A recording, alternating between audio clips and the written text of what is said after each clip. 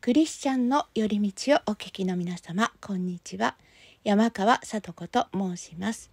今日は、ひやりとしたけど守られた話というテーマで、私の体験談をお話ししたいと思います。まだ子供たちが小さかった二十数年前の話です。その頃は今の教会に移る前の馬橋キリスト教会に通っていました。その頃の話です。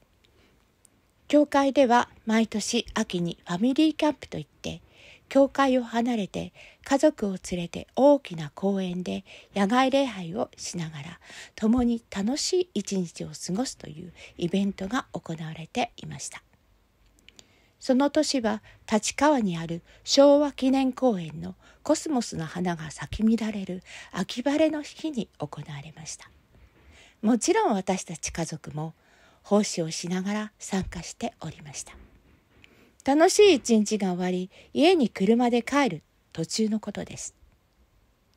子供たちは後ろの座席でぐっすりと眠っていました。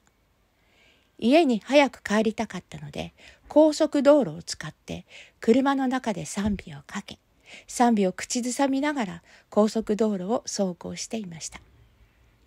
途中まで来た時です。あろうことか突然車が減速し始め急に動かなくなってしまいました。高速道路の真ん中で車が突然動かなくなってしまった恐怖は今考えてもゾッとするくらいです。すぐに周りを見渡すと幸いというか車が後ろにも横にもいませんでした。神様助けてください。思わず神様に叫びました。神様に助けてほしいと祈った直後のことです。運転席の真横にパトロール中の車がすっと止まったのです。係員が降りてきて事情を聞きすぐに対応してくれました。最寄りの出口までレッカー車で移動してくださり修理工場へと車を運んでくれました。工場では台車を貸してくださりその日は無事に家に帰り着くことができました。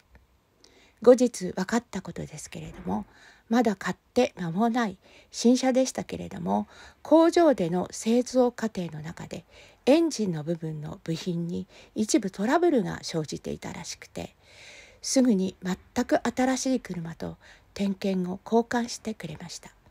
もちろん全ての費用も出してくれました。ひやりとした二度と体験したくないような出来事でしたが神様が完全に守ってくださり本当に感謝でしたファミリーキャンプの楽しい思い出とともに忘れられない出来事の一つです今日は私の話を聞いてくださりありがとうございました。